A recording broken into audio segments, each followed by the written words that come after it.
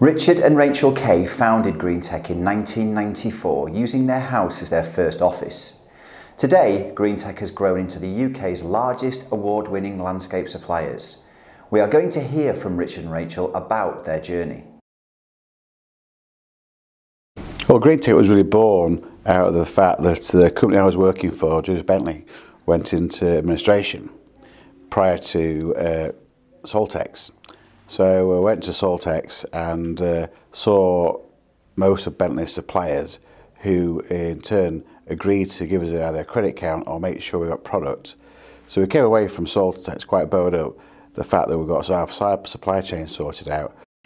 So on the way back from Saltex, uh, we actually popped in on one of Richard's old colleagues who owned a Headland Amenity at the time, and he suggested that we call the business Green Tech, and at the time he had a product called Green Tech, and that we could sell that as well. So all of a sudden we had a, a van, um, 200 pounds in the bank, um, and a business name, um, and that's all we needed to give us a kick up the arse to get going. Uh, Rachel and I always wanted to work together, so after coming away from Saltex with the supply chain in hand, uh, trading name in hand, business plan in hand, it was a perfect opportunity to go for gold. I'm incredibly proud of what we achieved since 1994. It was just then the two of us working from our house in Boroughbridge. Two years in, we moved to an ad's farm and put in a Portakabin. Within a short space of time, we outgrew this and we then moved to some uh, redundant farm buildings in Nun Monkton. 2000 was a milestone year for us. We moved to our first proper office in Nunmonkton and stayed here until 2015 and by then we were almost up to 40 staff. In 2013 we purchased a burnt out farm stead called Rabbit Hill just outside Borough Bridge. Over the coming 18 months we got planning permission to uh, knock the farm down, rebuild the farmstead as it was along with two newer houses and we moved into Rabbit Hill Business Park in November 2015. And we've now been in there four years. The day we moved, we moved £2 million of stock in 24 hours, all the staff, and within 48 hours, we were up and running ready for business. And that was on the Monday morning, we hit the ground running, and we never missed a beat. See the success of Greentech through flipping hard work, blood, sweat and tears, and we've always had a plan, a financial plan, a business plan, We've always been backed up by good tech in the business. We're both very data driven, Rachel and I, and so is a whole of the management team these days, and the rest of the business come to that. Our first year turnover in 1994 was £160,000. Uh, we doubled turnover every year for the first five years and then had a consolidation year. And not a lot of change to this day, we still do that now. Um, this year we hope to achieve £16.5 million in turnover. So compare that with products. Um, we had 280 products in 1994 and now we have in excess of 13,000 products. Greentech is the largest supplier of landscaping consumers in the UK currently. Over the years we aligned ourselves with manufacturers of top quality brands who we distribute from the UK.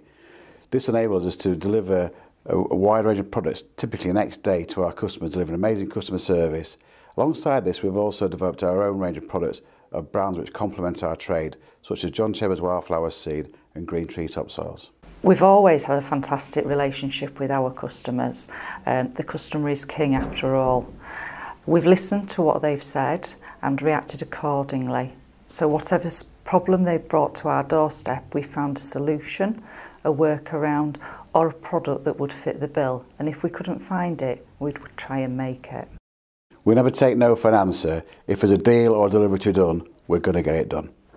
At the end of the day, we are nothing without the team behind us. We have a, an amazing team. They have the same drive, focus, and passion as we've driven into them.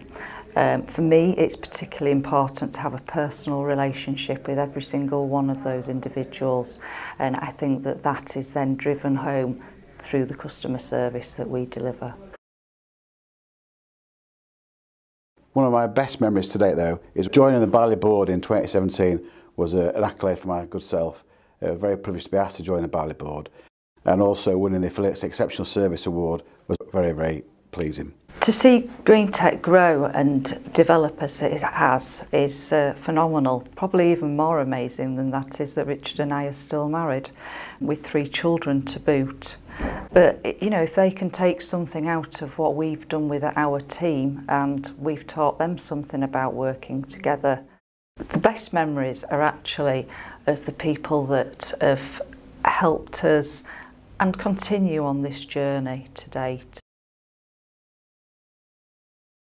The digital side of the business is really contributing to the way our business is changing and we recognise that we need to change with that um, and allow people to have access to our products much more readily.